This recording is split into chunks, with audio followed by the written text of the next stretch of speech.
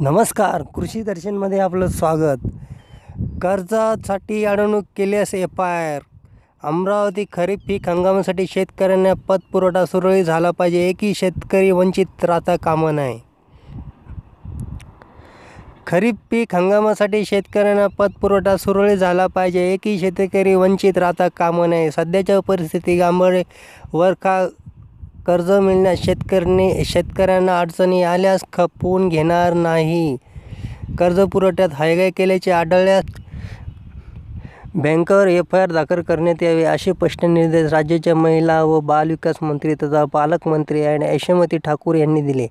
अमरावती जिल्हा खरीप हंगामाची नियोजन बैठक पालकमंत्री ठाकूर यांच्या अध्यक्षतेखाली बुधवारी नियो भावना झाली. त्यावेळी त्या बोलत होत्या जलसंपदा राज्यमंत्री बच्चू कडू खासदार नवनीत राणा आमदार सुलभा खोडके बळ बळवंतराव वानखेडे देवेंद्र भुयार प्रताप अडसळ जिल्हा परिषद अध्यक्ष बबलू देशमुख जिल्हाधिकारी शैलेश नवर उपस्थित होते. ॲडव्होकेट ठाकूर म्हणाल्या कोरोना संकटामुळे सध्या सर्वच क्षेत्रांना अनेक अडचणींचा सामना करावा लागत आहे. या पार्श्वभूमीवर जगाचा पोशिंदा मानल्या जाणाऱ्या शेतकऱ्याला खरीप हंगामात पतपुरवठा वेळेस झाला पाहिजे. बँकेने तिची अडवणूक करू नये.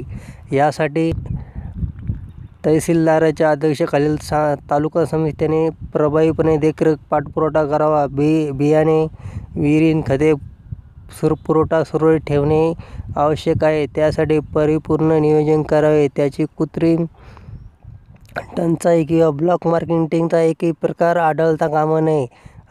दिरंगीचा चौ चौकशी करा. वीज पुरवठा नवीन वीज जोडणीची कामे गतीने झाली पाहिजेत.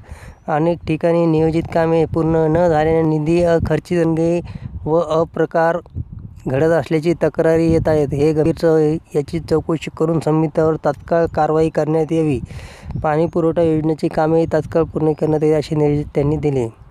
तर मित्रांनो शेतकऱ्यासाठी अत्यंत महत्त्वाची आणि आनंदाची गोष्ट आहे. जर आता तुम्हाला कर्जापासून कोणीही अडव अडवणार नाही. व्हिडिओ आवडल्यास लाईक करा शेअर करा सबस्क्राईब करा आपल्या कृषी दर्शन चॅनलला. जय हिंद जय महाराष्ट्र.